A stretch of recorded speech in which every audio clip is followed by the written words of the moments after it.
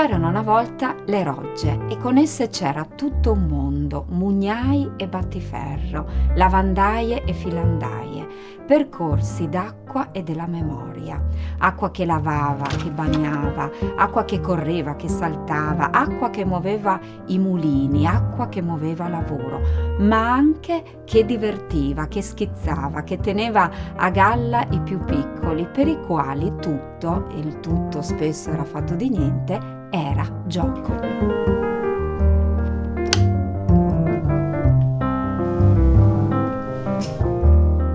Si pensa alle rogge per prima cosa per la loro utilità, per come favorirono le attività quotidiane e produttive in un territorio che aveva bisogno dell'acqua come motore dell'economia e motore della vita.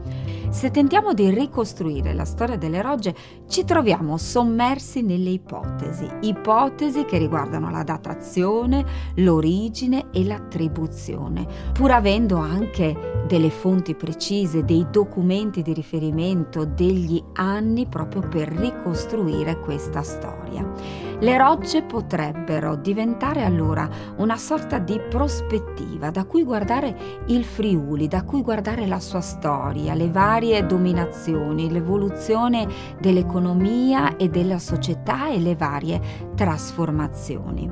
Nel ricostruire questa storia delle rogge, focalizzando l'attenzione al territorio di Reana del Royale e di Tavagnacco, non possiamo non parlare di Udine. Udine detta la città eh, delle rogge. Ma nasce prima Udine o la gallina? Prima le rogge o prima l'uovo? È un gioco in realtà che riprende il famoso detto proprio per dire qualcosa di assolutamente storico e riconosciuto, ossia che Udine Udine deve molto alle rogge, perché proprio grazie alle rogge è diventata la città che è e si è sviluppata così e non viceversa. Nel ricostruire la storia delle eh, rogge, che ruolo hanno avuto le donne? Sicuramente un ruolo umile, quello di lavandaie munite di cenere e di olio di gomito, ma anche di ribelli, perché sono state proprio loro ad avere il coraggio di protestare per la sopravvivenza e per la vita.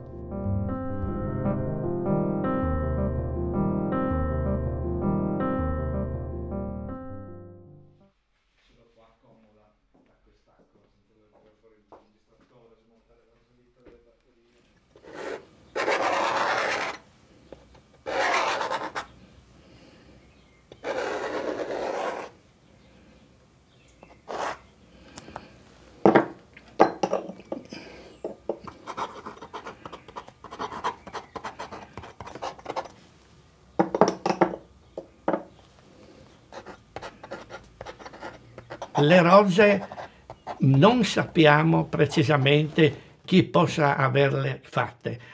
Ci sono de- delle ipotesi che parlano dei romani, dei longobardi, che come sappiamo sono rimasti qui 200 anni, oppure dei celti, però con precisione non possiamo dire sono state fatte da questo o da quello.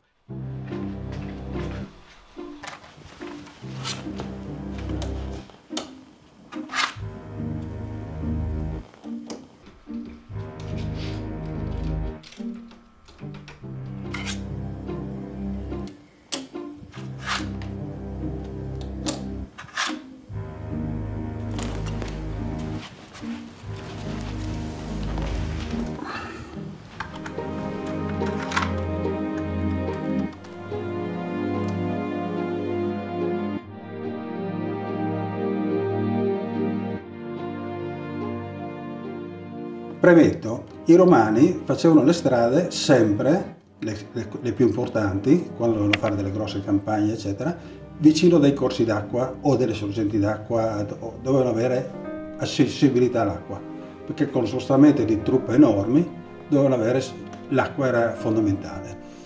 Da Aquileia hanno seguito sempre un tragitto, la Giulia Augusta, che si discostava dal castello di Udine ed era vicino al torre. Per cui presumibilmente per tutto il periodo romano il torre aveva l'acqua perché non aveva le prese delle tre rogge per cui il greto pur assorbendo quando scorre l'acqua riesce a, a fare una semi-impermeabilizzazione per cui eh, riesce a portare l'acqua probabilmente fino alla confluenza col Natisone e anche successivamente fino a Aquileia, Turrus cum eh, Natisso, citato eh, nei documenti storici, eh, aveva l'acqua.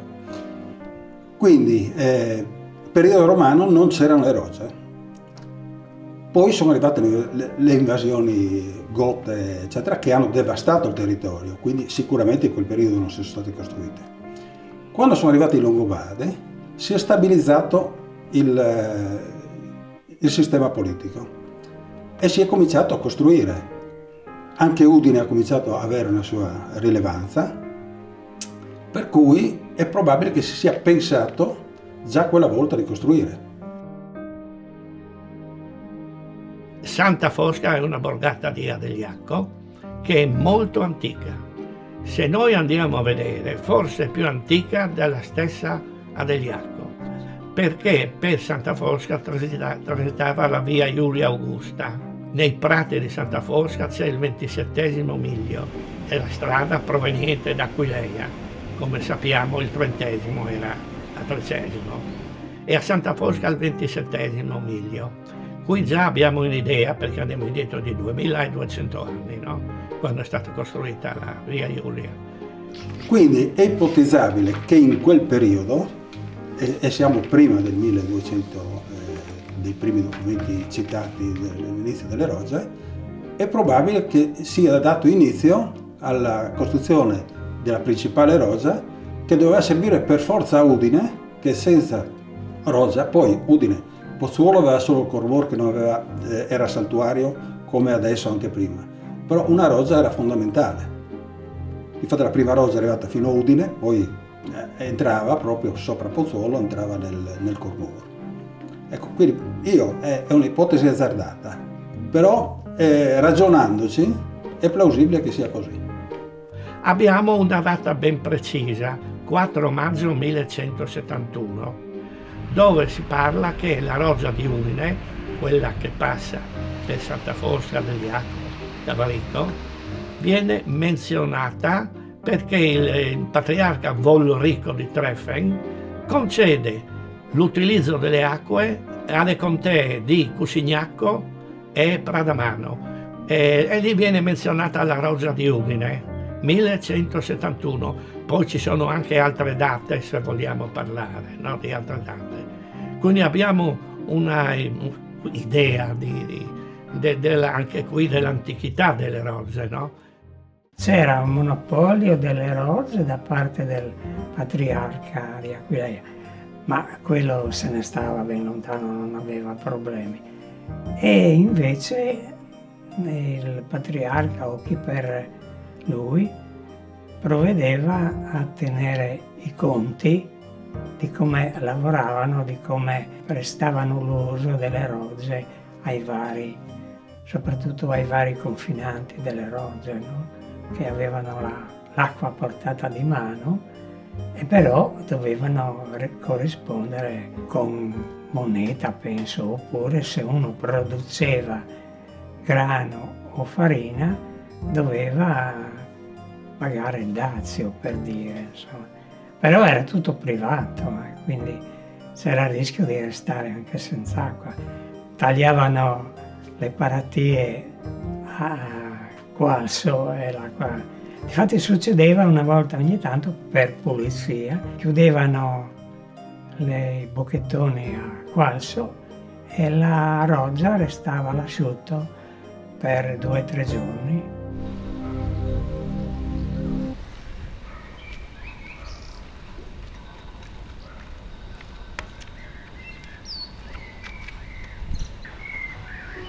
Dopo è venuta la Repubblica di Venezia che ha messo delle norme norme ha messo delle esenzioni, ad esempio i mugnai che avevano l'obbligo di pulizia dell'alveo, aveva, avevano dato l'obbligo di pulizia dell'alveo ai, ai mugnai nel tratto fra un mulino e l'altro, ogni mugnaio aveva l'obbligo di pulire il suo tratto, in compenso avevano delle piccole esenzioni fiscali, ma avevano eh, l'esenzione al servizio militare riservata al primo figlio maschio, in modo tale che volevano la continuità dell'attività. Erano certi che il figlio rimaneva a lavorare in mulino e manteneva pulito l'alveo, esentando da questo obbligo gli addetti della Repubblica Veneta.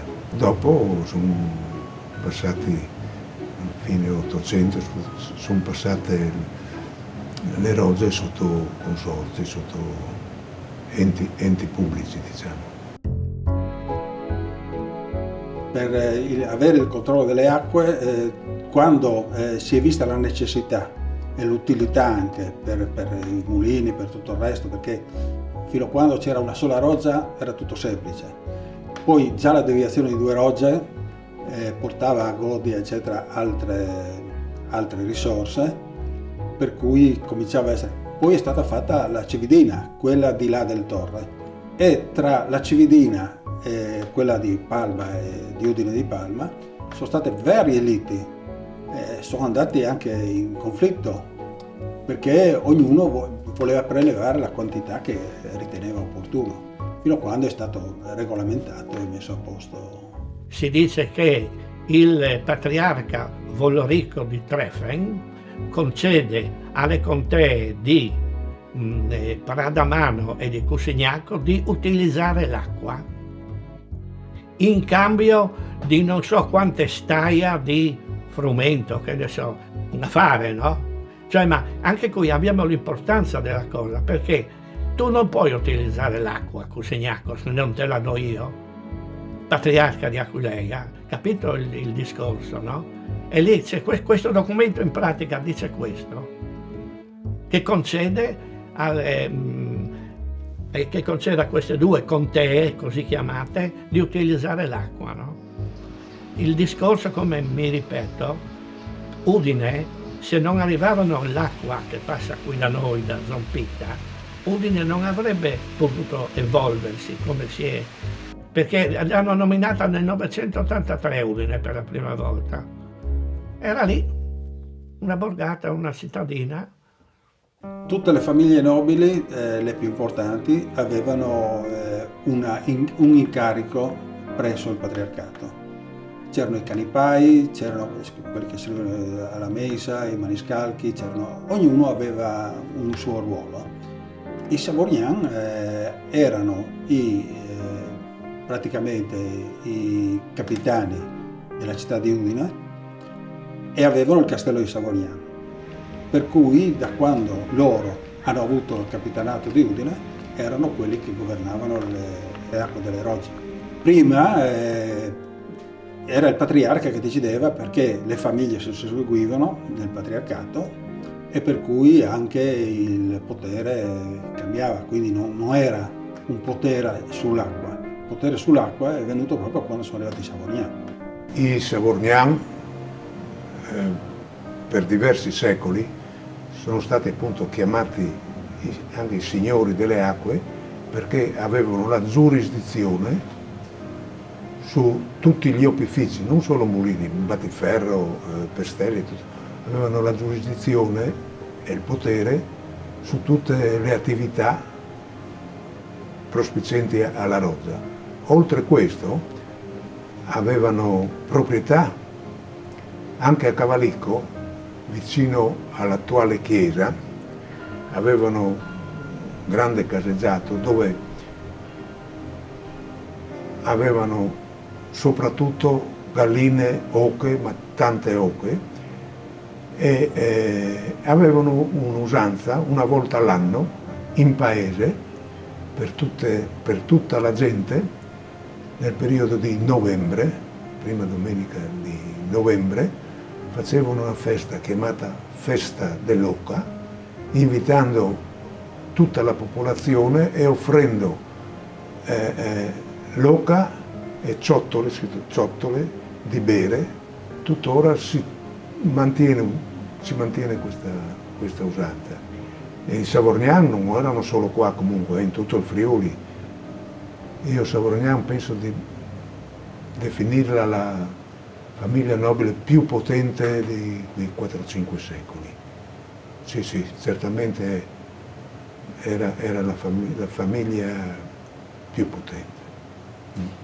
I Savorgnan erano definiti i signori delle acque per questa loro pretesa, per questa potenza che erano, perché era una potenza, una famiglia potente, no? che volevano avere in assoluto il dominio delle acque. Loro avevano molte proprietà Zompita dove c'è la presa, come sappiamo, che si dividono le acque, tra cui un castello. E loro diciamo che pretendevano che, di avere il dominio delle acque, no? E c'è stata tutta una grande lotta con i patriarchi del tempo. Dobbiamo andare a finire al 1700, no? Poi le cose si sono, sono cambiate, le, le cose. Non è che hanno lasciato i mulini solo ai più ricchi, no? Sono cambiate le cose e, e il mondo è cambiato un po', e, però diciamo che la storia è, è questa, no? Che volevano l'importanza delle acque, volevano tutti avere le acque. Come ho detto prima, Udine se non arrivavano le acque, non so se sarebbe esistita, no?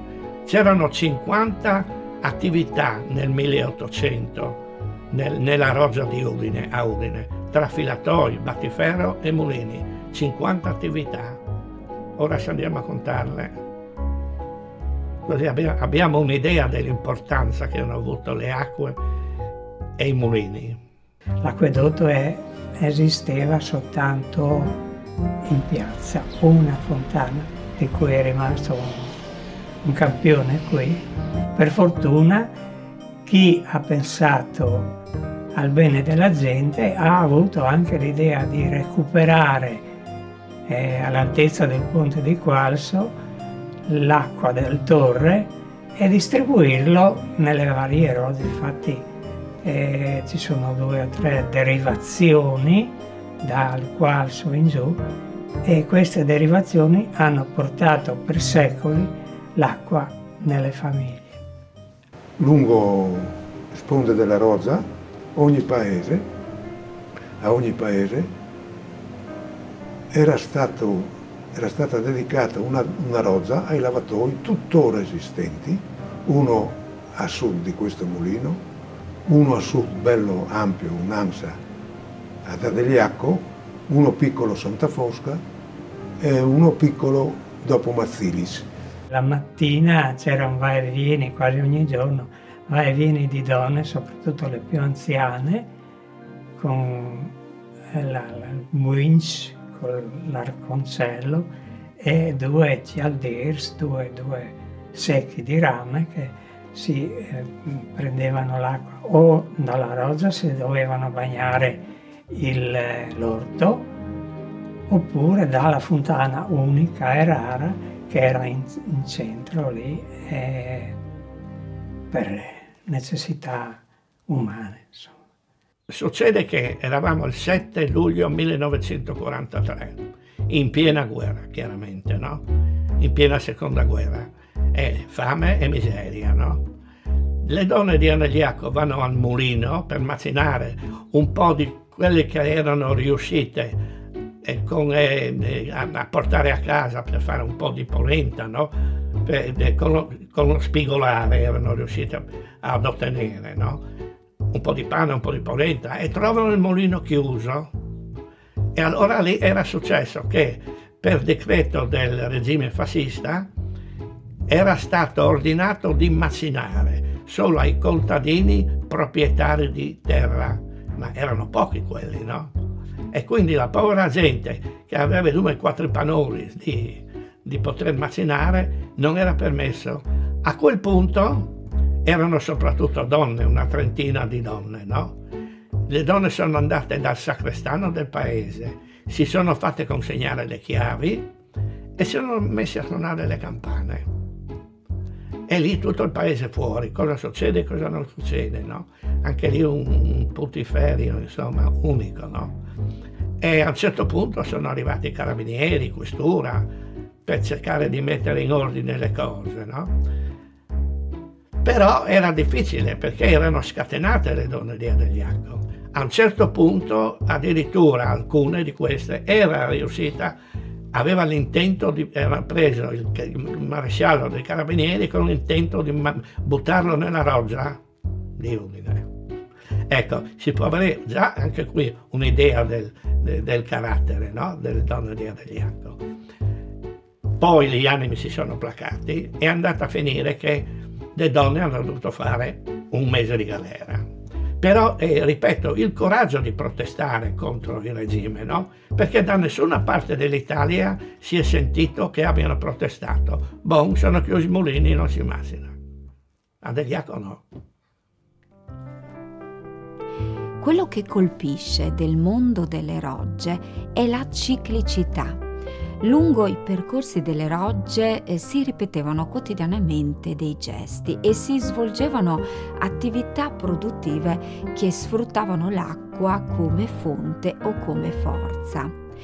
Simbolo di questa economia e di questa ciclicità erano i mulini, con le loro ruote che erano mosse dall'acqua, in qualche modo mimavano proprio anche il movimento, lo scorrere della vita, la ruota della vita e la ruota del tempo. Chi racconta di questi mulini ne parla come di luoghi sacri, di luoghi dell'anima, luoghi eh, della comunità ed erano una sorta di ritrovo delle famiglie che venivano accolte dalla figura del mugnaio. Ogni famiglia portava il suo sacco da macinare ed era un po' anche il sacco proprio eh, della fatica. La ciclicità poi riguardava non soltanto il succedersi delle stagioni, ma anche la trasformazione del grano turco e del frumento in farina, perché si trattava di gesti che si ripetevano. Eh, pesatura, eh, setaccio, eh, spezzettamento, scuotimento, erano tutte delle azioni che andavano appunto a ripetersi fino ad ottenere il prodotto finale.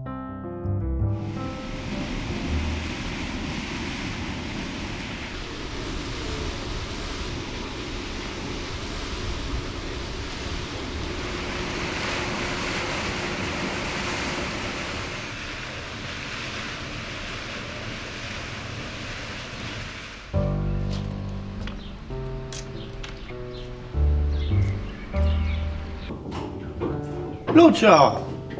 Oh, Ciao! Ciao! Ciao! Allora sono Sino. Tutto bene, grazie.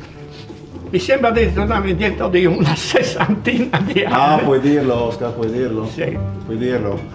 Mi sembra di rivedere tuo padre. È un buon grino. Vero, vero. Eh, Sento ancora qui- il profumo, i rumori. Io ricordo sempre quando, quando vengo qui eh, i salti che faceva mio padre su quella scala lì, no? Perché sai, per macinare dovevi salire e scendere. Certo, lui certo. in due passi era già di sopra che manovrava il Sì, è cilindro. vero, è vero. E adesso è qui che fa memoria della famiglia, fa memoria Certo. di sé. E noi bambini d'estate eh, qui si facevano i bagni. Eh, eh, Qui eh. erano i bagni, erano i tuffi, Sì, questa certo. parte qui che l'acqua è un po' più fonda Sì, sì. E si giocava, si, si- si faceva i dispetti. Sì, Bei sì, ricordi, Oggi, insomma, bei. oggi eh, no- non c'è questo. No, non c'è più questo mondo, non no, c'è, eh non no. c'è, non Eh, c'è. per ricordo che si prendevano le camere d'aria del, del- del trattore del, Sì, del sì. rimorchio per, per fare un salvagente, partivamo da Santa Fosca Eh, e si veniva è giù, fino ti qua. credo, no? Il mulino eh, lavora con una fonte di energia che Sì, nel nostro caso sì, è l'acqua, sì, no? Infatti È, è frantuma, è schiaccia, è pressa. La forza Eh. motrice dei mulini, come di tante cucine qui lungo questa roggia, è proprio l'acqua, il cui corso veniva modificato, probabilmente anticamente era diverso, e venivano creati questi cosiddetti salti d'acqua, quindi venivano modificato un po' la pendenza in modo tale da creare un dislivello di 1-2 metri, in modo tale di convogliare le acque, Le acque in, un, in un canale, in un Certo. canalino artificiale, in, in una grondaia, per, per fare un esempio, Sì. in modo tale che l'acqua incanalata sbatta sulle pale, Sì, che una volta sì. erano in legno, poi in ferro, e dia la forza motrice per azionare tutti, tutti gli organi del mulino. Il funzionamento era abbastanza semplice, cioè si prendeva un sacco, il sacco veniva prima pesato qui che c'era una bilancia, il famoso decimal, poi veniva svuotato in, questa, in questo. Ecco, sì. Da qui il mais veniva portato sopra, al primo piano, dove c'era una, una pulitrice, chiamiamola, un trevel, no? E arrivava in cima attraverso questi plevatori, precisamente quello di mezzo, questo qua. Là sopra c'era un setaccio, eccolo, Sì. Dove con l'aiuto di un ventilatore soffiava l'aria sotto e faceva sollevare quella che viene detta la pula, ovvero delle particelle di tutolo, delle particelle di foglie o delle particelle de- dello stelo del mais, no? che non possono essere macinate. Quindi il mais veniva pulito senza impurità.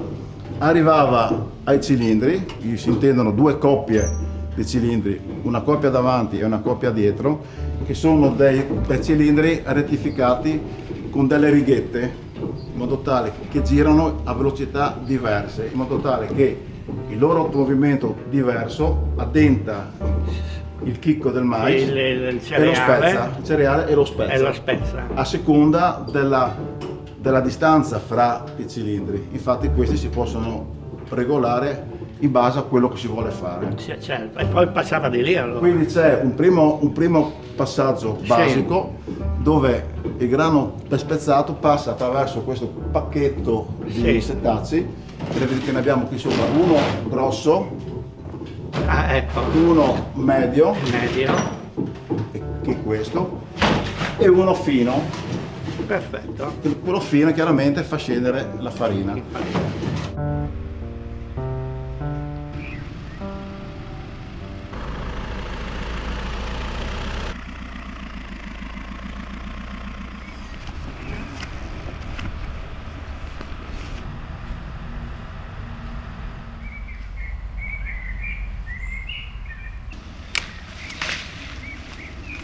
Dopo diciamo, la rosa si usufruiva tanto per i mulini perché fino al del 60, negli anni 60 hanno cominciato a fare i mulini meccanici diciamo che si poteva attendere al trattore, ma prima si doveva andare a ricorrere sempre al mulino, al mulino locale. E dopo, dopo il 60 che cominciavano a fare diciamo, quei mulini me- me- da, da poter adattare sul trattore, eh, le macine per, le- per il bestiame si faceva a casa da soli, si andava solo per la polenta. Un altro aspetto importante era quello della forza motrice, perché essendo questa zona un eh, ambiente soprattutto agricolo, c'erano i prodotti eh, biada, frumento, segala, che dovevano essere macinati. Questo mulino, come tutti quelli sulla rosa, eh, sfruttavano il salto dell'acqua che permetteva il giro della ruota che con gli ingranaggi entrava all'interno e faceva funzionare tutto- tutta, tutta l'attività molitoria. Se parliamo dei mulini, e anche qui sappiamo l'importanza che hanno avuto nel corso del tempo i mulini, no? Adegliacco, Santa Fosca, Cavalicco e anche Areana hanno tutte la loro bella storia, insomma, no? Per fare un altro esempio, nel 1217 c'è un altro scritto che dice per la prima volta vediamo un mulino sulla roggia di Udine. Nel 1232 Federico II, l'imperatore, concede il permesso di fabbricare mulini solo ai patriarchi. E anche qui abbiamo un'idea di, di come si indirizzano le cose, il mondo, no? Questo mulino è stato il primo che eh, lasciò la ruota, rinunciò alla ruota, la tolse nel 1935 e fece la turbina, che sotto, so- proprio sotto qua c'è la turbina, e funzionò con energia elettrica con la turbina, con una cabina propria al di là della rosa. Al di là della rosa c'era una cabina e rendeva autonomo, autonomo, autonomo. Arrivavano la mattina alle 7, vedi quella, quel, lì, ruotavano quella manovella lì, con questi ingranaggi facevano partire la turbina che, che produceva tutta l'energia necessaria all'attività. Mulini Mugnai era molto interessante perché ci sono venute fuori anche molte leggende, perché intorno al mulino c'era tutta un'attività con eh, dicerie strane, eccetera, perché era... E poi il mugnaio decideva come macinare, quanto rendeva la macina e tutto il resto.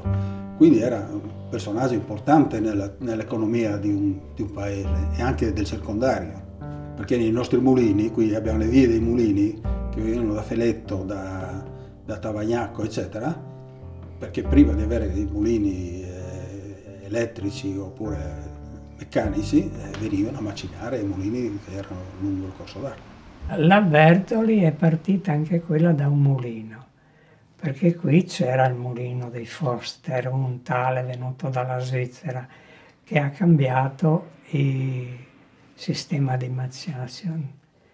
Avevano 500-600 operai, in più avevano una cooperativa alla quale si rivolgevano per eh, necessità di lavori urgenti. Sono andati avanti fino a quando hanno voluto o potuto.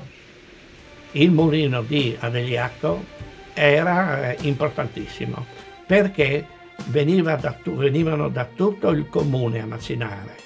C'è la strada che si chiama ancora Via dei Mulini e a Santa Fosca invece c'era la mussaria dove arrivavano con i mussi e con la roba da macinare nel mulino di Santa Fosca. Uno più su, uno più giù, e arrivavano da tutto il comune, no? Perché in pratica io non so se c'era ancora un mulino a branco e basta, le acque erano di qua, no? È importante il mulino di Adegliacco come quello di Santa Fosca. La mia famiglia andava a avvicinare a due mulini, eh, il grano, il frumento, a Cavalicco, al mulino Cainero, eh, perché era specializzato nella molitura del, del frumento, mentre quasi ogni mese col carrettino si andava al grano turco, al mulino di Adegliacco eh, io abitavo poi via dei Mulini, quindi eh, abitavamo vicino e ogni mese perché si faceva la polenta. La polenta si dava anche agli animali poi, poi c'è la crusca e tut, tutto il resto, no? cioè il bevaron. No?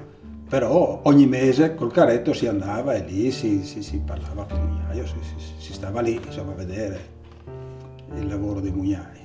Quello che era molto bello, beh, prima di tutto vedere il mugnaio che andava proprio eh, fino a aprire il portellone, eccetera, in, in modo molto eh, precario, in equilibrio instabile, eccetera, però insomma a quei tempi non c'era l'Inps, per cui eh, si potevano fare delle cose che adesso non sono assolutamente vietate ma comunque era bello vedere anche nella tramoggia scendere giù piano piano i grani che scendevano giù e dicevo chissà dove vanno, pensavo andassero sotto, dopo invece venivano portati al piano sopra dove c'erano i settacci e tutto il resto.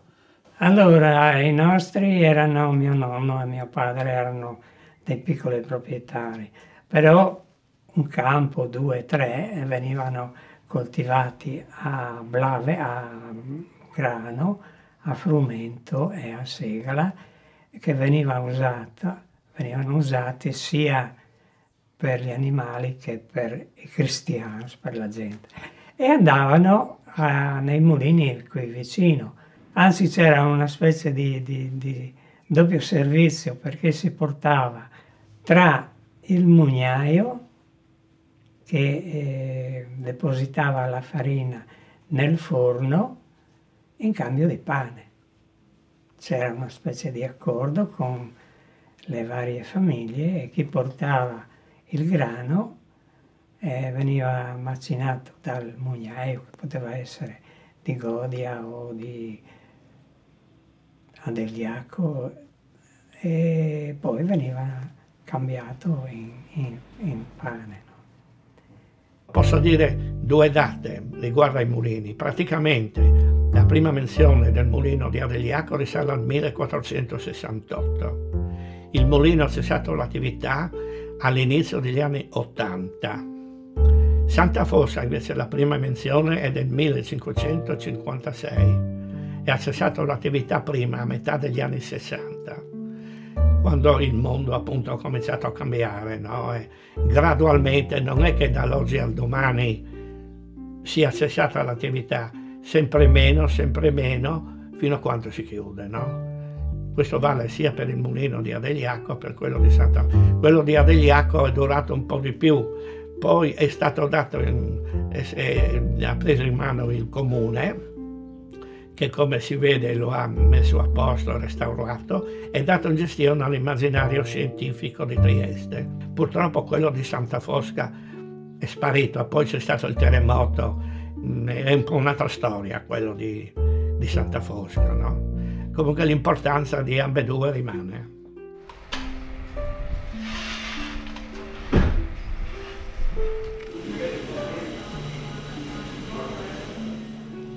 avendo bisogno del mulino per macinare per le bestie, per fare diciamo, le farine, per fare la polenta, e dopo è venuto il boom del mais così abbiamo dovuto attrezzarsi per irrigare i terreni per, per il mais. E lì con pompa propria ai tempi per poter arrivare dalla Rosa ai nostri terreni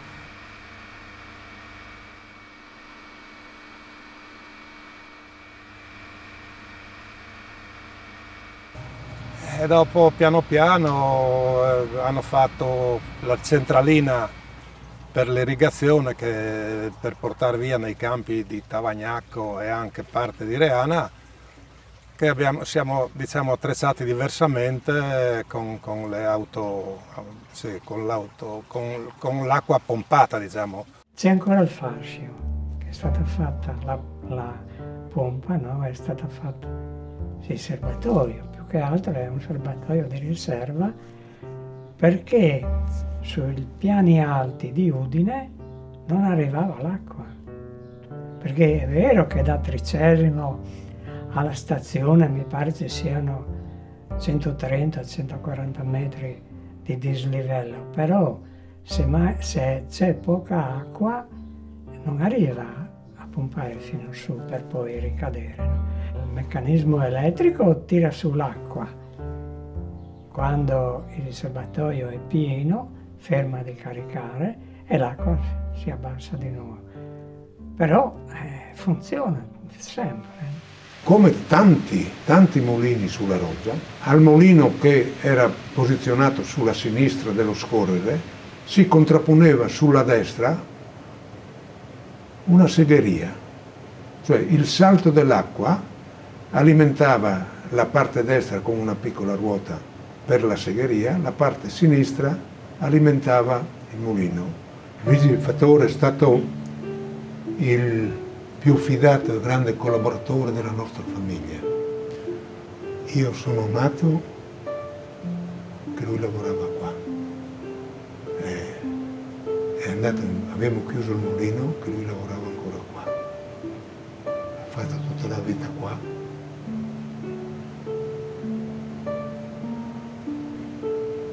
Mi ha voluto bene.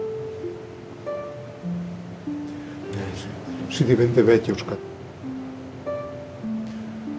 Quando io sono nato, 76 anni fa, lui lavorava già qua e ha lavorato fino all'85, anno in cui abbiamo deciso di finire l'attività. Il suo rapporto era idilliaco con la mia famiglia, e con me, mio fratello, mie cugine, tutto, era veramente uno di famiglia. Mio nonno, mio nonno, lo teneva sempre a mangiare con sé. Lavorava, era operaio, lo teneva sempre a mangiare con sé.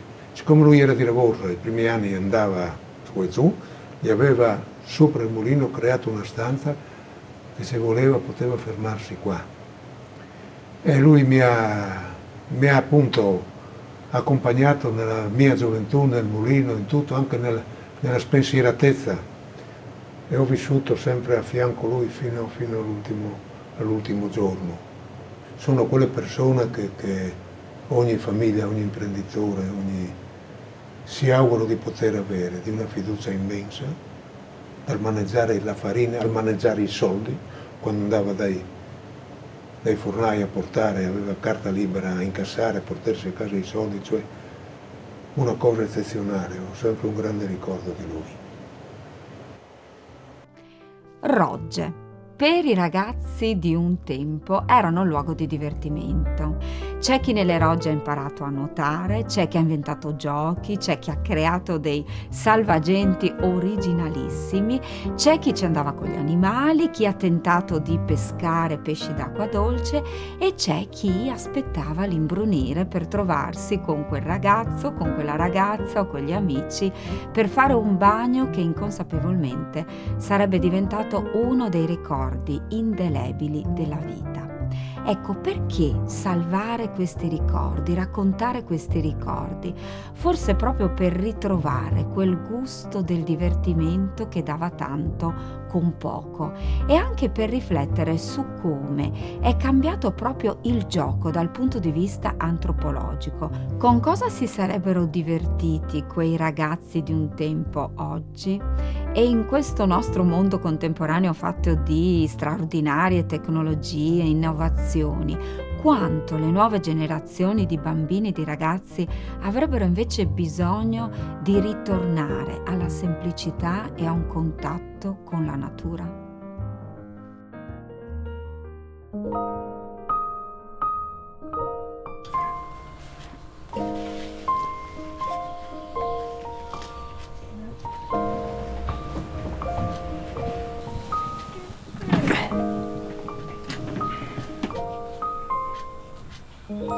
La roggia era un motivo di vitalità, alimentare la gente, i cittadini, diciamo, prima di tutto per l'ambiente agricolo, ma poi anche per il servizio alle famiglie che non avevano l'acquedotto in casa e quindi molte volte dovevano ricorrere alla provvidenza che passava attraverso le rogge tant'è vero che ogni gruppo di case aveva il lavatoio pubblico.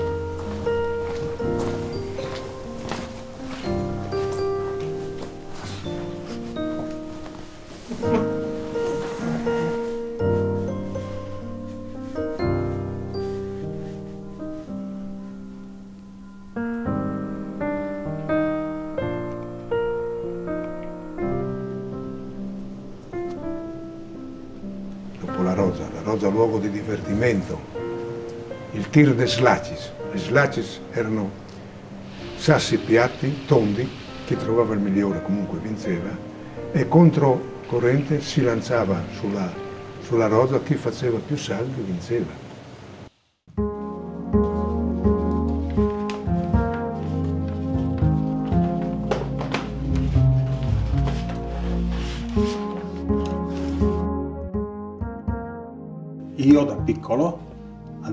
Andava tutti a fare il bagno eh, nella roggia. C'erano da Feletto, andavano poco a sud qua di questa casa, c'era che avevano la beach eh, di, di, di, di Adegliacco. Io con mio fratello invece ci piaceva più la riservatezza, eccetera, andavamo verso Ribis, si passava la ferrovia e si andava ed era un tratto che è bellissimo, tranquillo, eh, molto più profondo, che scorreva veloce e lì era bello perché si andava controcorrente, lì abbiamo imparato a pratica.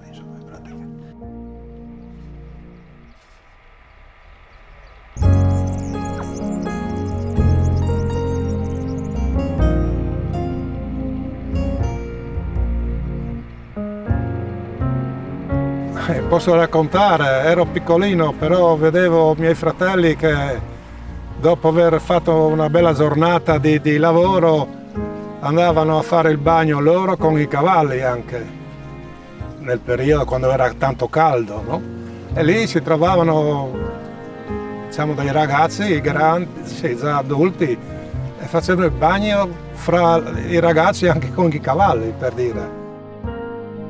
Andavo non tanto perché la mia famiglia era sempre una famiglia presa col lavoro, non, non ci lasciavano tanto, se si scappava a momento intanto che riposavano un'oretta a mezzogiorno si riscappava fare il bagno e basta, dopo ritornare a casa subito prima che si sveglino.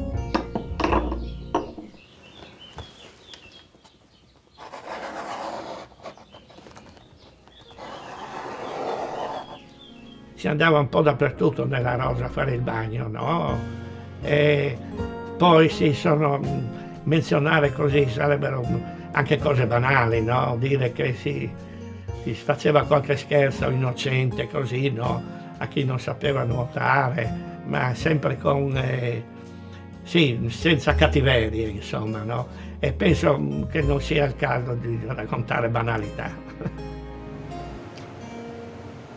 La Rosa poi aveva un fascino con le zone, le zone dedicate ai bagni. Io mi ricordo bambino in quella volta a mare, era la Rosa. La Rosa d'estate era una festa e si erano creati soprattutto tre zone sulla Rosa per andare a divertirsi d'estate e fare i bagni.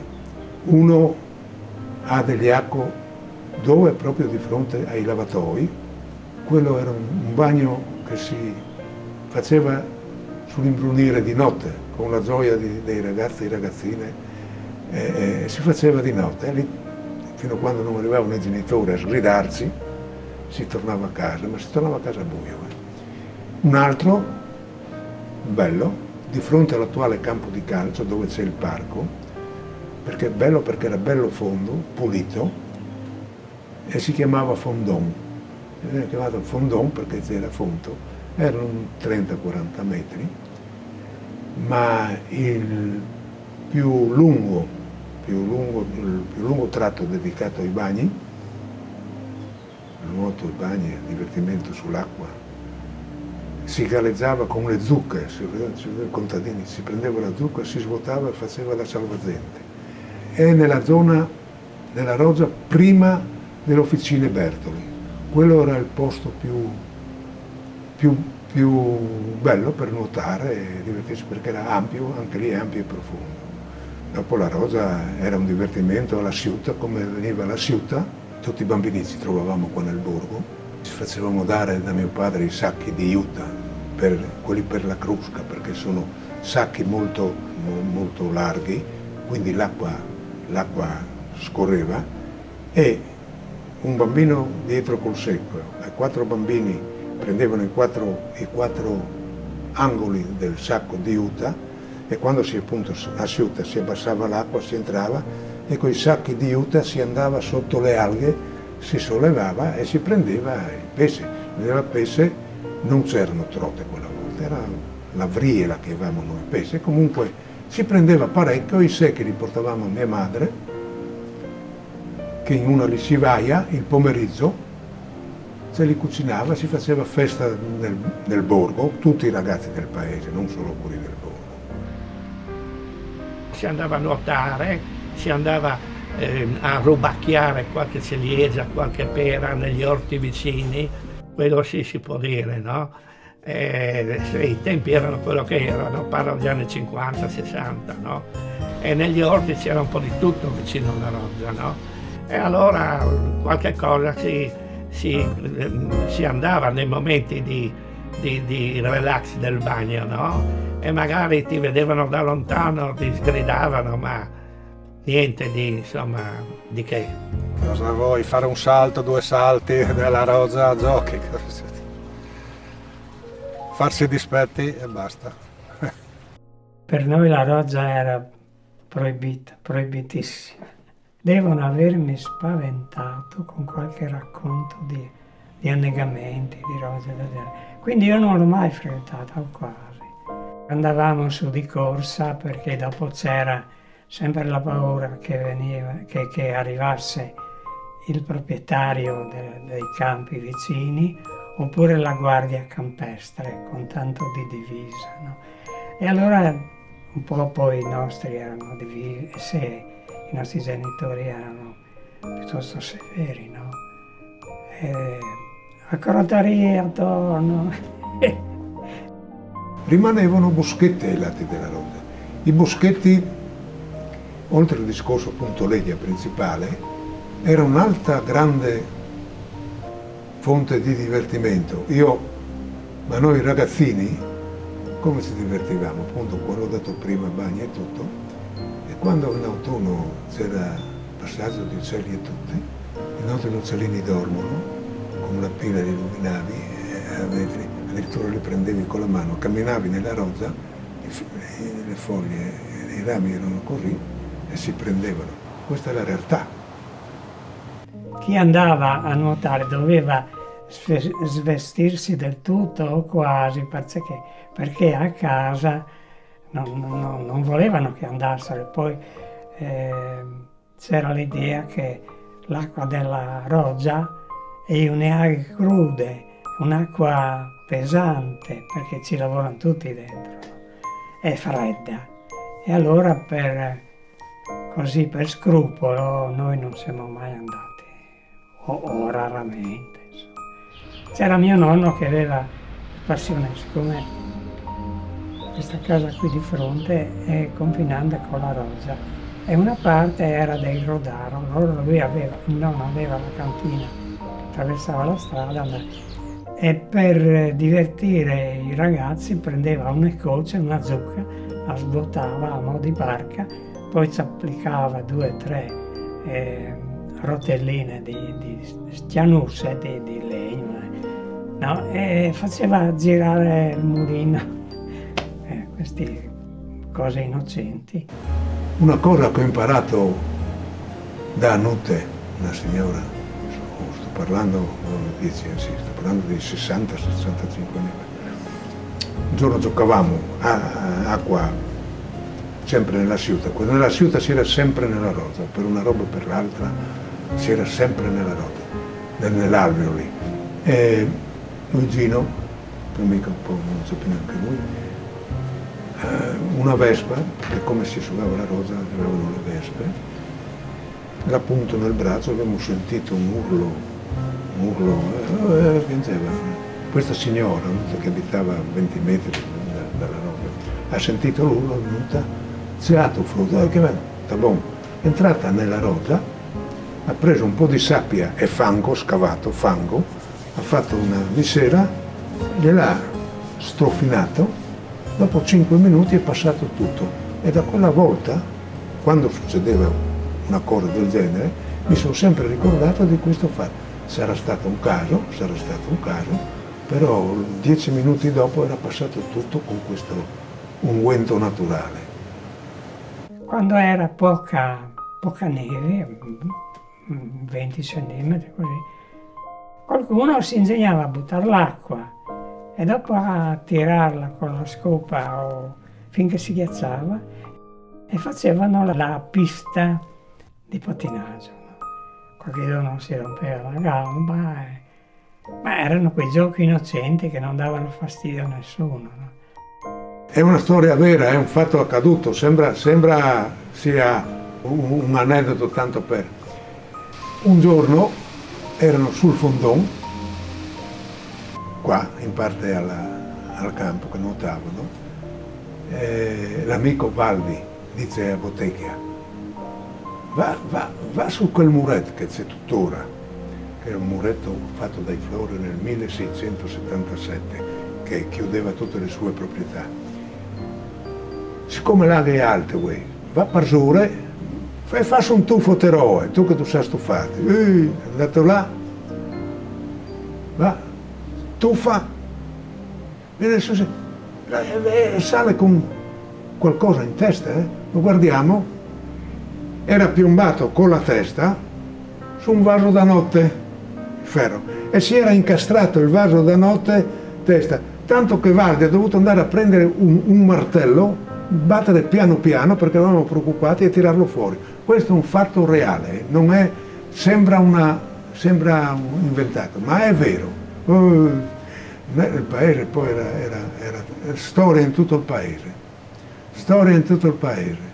Porvo Tecchia, simpatici, macchiette, macchiette che, come dicevo prima, in quei tempi ti divertivi con, con, con ti divertivi sano ma con poco. Di chi sono le rogge? sicuramente di chi le ha vissute. Oggi invece per alcuni giovani sono diventate un luogo di riposo dallo stress, un'occasione per immergersi nella natura. le cose sono molto cambiate. E se provassimo a mettere insieme le antiche strade romane, le rogge, le piste ciclabili e poi creare magari qua e là qualche ristoro, qualche rifugio di pianura per finire con una festa che potrebbe essere la festa del pane in omaggio ai mulini di un tempo. Ecco, a tutto questo, a tutti questi aspetti ci hanno pensato, in parte già alcune cose si stanno realizzando, dei giovani studiosi e dei giovani visionari. Potrebbe diventare questo un ponte tra passato e futuro, una sorta di turismo lento, non soltanto eh, per il tempo del suo andare, ma perché eh, permetterebbe proprio di recuperare il tempo perduto tesi, studi, proposte, progetti, idee che arrivano dai giovani o dai sempre giovani, forse perché l'acqua, ormai l'abbiamo capito ascoltando queste storie, è sempre simbolo di vita. E allora sarebbe bello poter costeggiare i percorsi delle rogge, un po' come eh, risalire il tempo, andando un po' avanti e un po' indietro.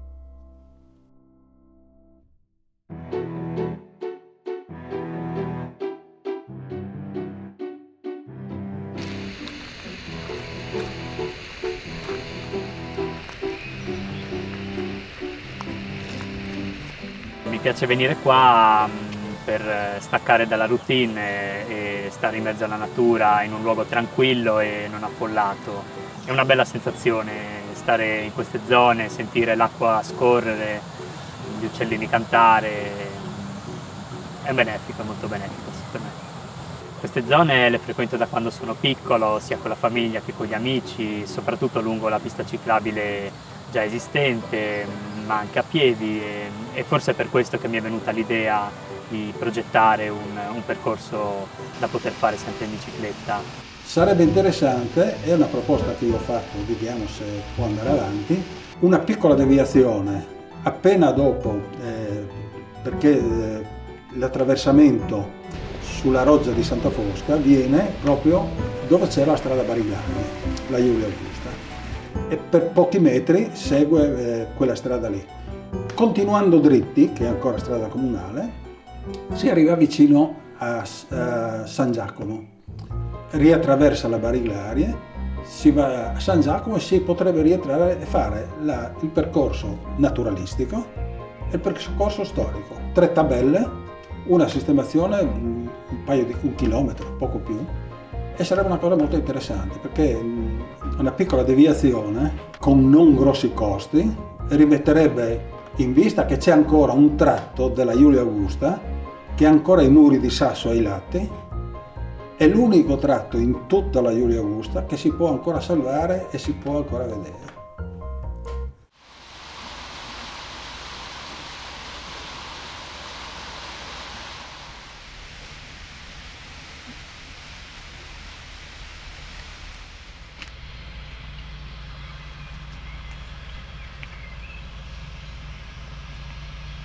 Questo parte dal mulino di Giusto e, e, poi si ricollega ad altri percorsi ciclabili che arrivano fino a Tavagnacco ed è molto interessante anche perché possiamo vedere proprio la storia del territorio, come ad esempio il mulino, c'è ancora il vecchio mulino ed è ancora in funzione ed è una chicca del, sempre una chicca del nostro territorio perché appunto è sempre rimasto in funzione e tuttora lo è e quindi è molto importante anche per questo.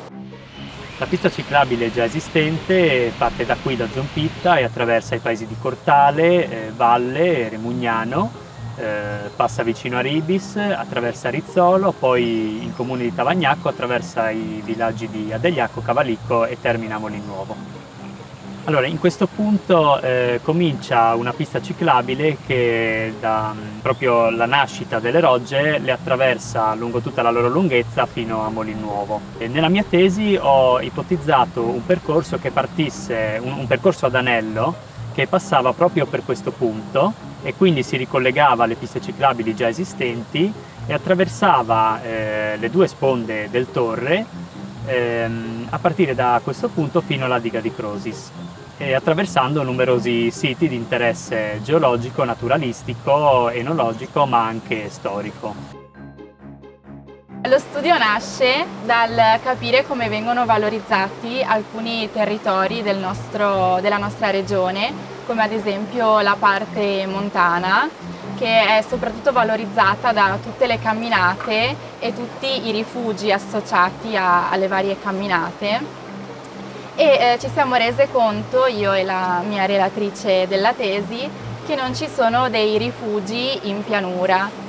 E sarebbe molto interessante cercare di eh, sviluppare il turismo anche eh, nei, nostri, nei, nostri, territori più, di, più pianeggianti e quindi pensare a un'ipotesi di questo rifugio all'interno del nostro territorio, soprattutto del mio territorio, quindi di Reana, perché eh, lo considero un, um, un luogo molto singolare del nostro, della nostra regione e quindi penso che debba essere valorizzato e poi magari in un futuro non solo il mio territorio ma anche altre zone di pianura eh, della nostra regione o comunque di qualsiasi altro territorio. E quindi da qui nasce l'idea di provare a immaginarci un rifugio collegato soprattutto alla pista ciclabile perché le nostre piste del Royale sono in stretta connessione con l'Alpe Adria che appunto parte da Salisburgo e arriva fino a Grado. E quindi potrebbe essere una tappa particolare all'interno appunto di questo percorso ciclopedonale eh, dove una famiglia, una persona possa potersi rifugiare all'interno di questo parco naturale e, e possa poi proseguire la sua camminata fino poi arrivare a grado, ad esempio. Oppure semplicemente possa cercare rifugio in mezzo alla natura, in mezzo all'acqua, in mezzo alla fauna e alla flora che abbiamo qui a Reana. Quindi un, un, ipotetico turista che possa arrivare dalla ciclovia dell'Alpe Adria o che semplicemente possa arrivare da qualsiasi altra parte della regione possa trovare in eh, Reana, in questo piccolo rifugio, un eh, momento di sosta e di relax immerso nella natura pianeggiante e possa poi la mattina dopo o i giorni dopo riprendere il suo percorso da turista.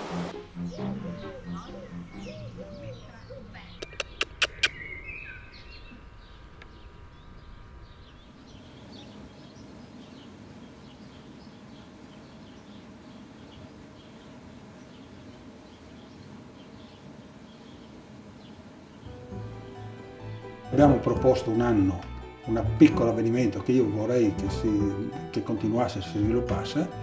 Abbiamo voluto fare una festa alle donne, al paese. Eh, la prigione di Trieste aveva messo su un forno interno per fare il pane anche per la cittadinanza. Siamo andati a comprare il pane in carcere per fare la festa del pane eh, lì del mulino per le donne è offerto il pane gratuito in contrapposizione a quell'operazione che è stata fatta. Ed è una cosa che andrebbe, cioè fare la festa del pane, portando avanti tutti i panni, sarebbe vicino al mulino, alla roggia, sarebbe una cosa che nel paese darebbe una caratterizzazione, sarebbe molto interessante.